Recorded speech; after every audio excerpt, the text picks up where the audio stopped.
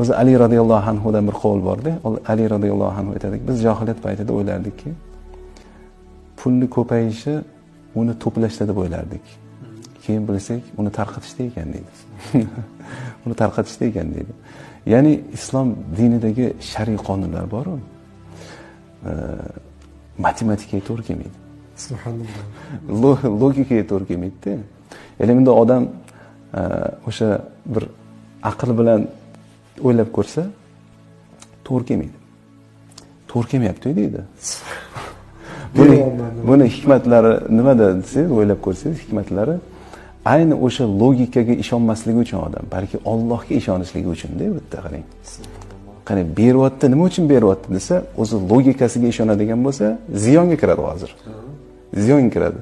Lekin yo'q ollohni va'dasiga ishonadigan bo'lsa foydaga kiradi tavhid maqsadi bor ekan maqsad borda